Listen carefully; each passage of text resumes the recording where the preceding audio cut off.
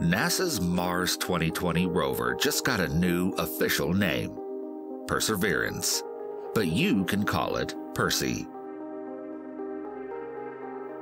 Like all of NASA's previous Mars rovers, Perseverance was named via a nationwide student competition.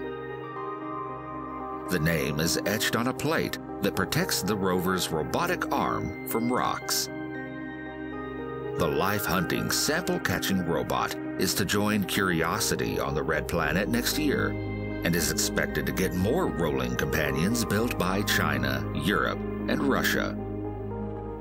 The car sized rover, which was built at NASA's Jet Propulsion Laboratory in Pasadena, California, is now at the Kennedy Space Center in Florida for final preparations before it launches to space.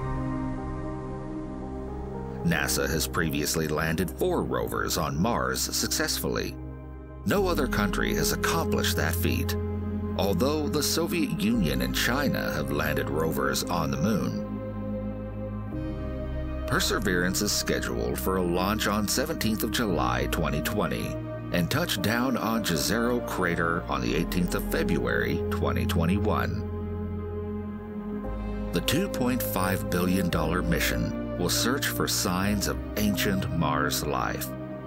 NASA believes Jezero is the right place to do this work because the crater harbored a lake and a river billions of years ago, meaning that life could have both flourished there and left lasting evidence of its existence.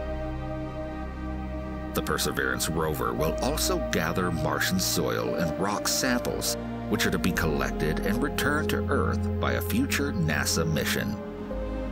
Those samples could be here as early as 2031. Perseverance also has 23 cameras and two microphones, potentially allowing us to hear the sounds of Mars for the first time ever. The rover will do a variety of other work as well, and is also carrying a small helicopter that will fly short distances from the rover. A successful test of the helicopter means more flying probes on other planets. NASA is already planning to send a plutonium powered helicopter to Saturn's moon, Titan. That mission is named Dragonfly.